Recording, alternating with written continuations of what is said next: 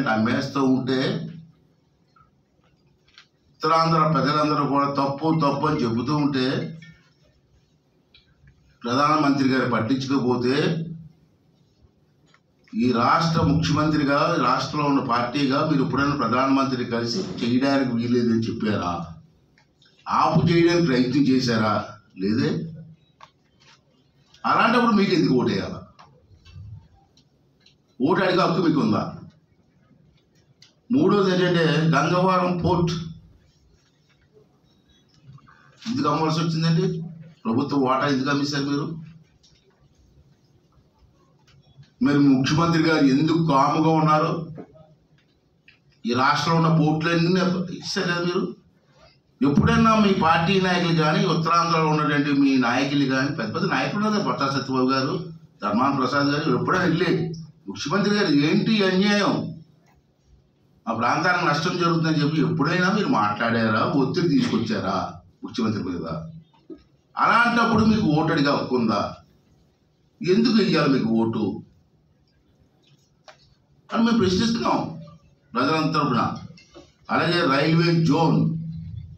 ఎన్ని కబుర్లు చెప్పారండి? అదిగో వచ్చేస్తుంది ఇదిగో వచ్చేస్తుంది ఎన్నిసార్లు చెప్పారు మీరు? రైల్వే జోన్ గురించి ఎప్పుడు అన్నాము? ఈ పార్లమెంట్ సభ్యులు పార్లమెంట్లో బళ్ళ గుర్తు ఎప్పుడైనా అడిగారండి? ఎందుకు తేలేపారండి మరి ఎందుకు మీకు ఓటు వేయాలండి? ఎమ్మెల్సీ ఎలక్షన్లో మీకు? చెప్పండి. అలాగే చూసుకుంటే మెట్రో ట్రైన్ విశాఖపట్నం చంద్రబాబు నాయుడు టైంలో శాంక్షన్ ఇచ్చారు. నాలుగు పార్లమెంట్లో నాలుగు బడ్జెట్లు అయిపోయింది అప్పుడే. బడ్జెట్ అంత ఇచ్చారా మీరు? మొన్న ఇప్పుడు మొన్న ఒక లక్ష రూపాయలు ఇచ్చారు బడ్జెట్లో. అంటే మెట్రో ట్రైన్కి ఒక పిల్ల పిల్లర కూడా రాదు లక్ష రూపాయలకి.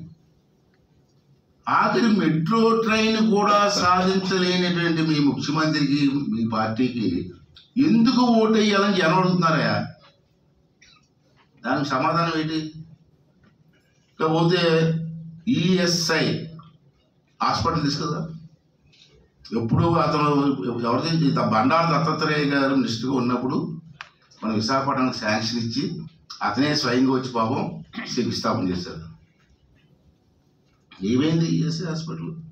హాస్పిటల్ పూర్తయితే ఎంతమంది ఎంప్లాయీస్కి పనికొస్తుంది? ఎందుకు పూర్తి చేయలేపారు ఎప్పుడైనా మీరు అందరూ వెళ్ళి బీజేపీ గవర్నమెంట్ ఒత్తిడి తీసుకొచ్చి పూర్తి చేయడానికి ప్రయత్నం చేశారా?